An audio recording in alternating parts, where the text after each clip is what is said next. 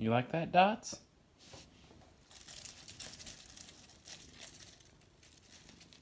Dots loves playing with the little tree.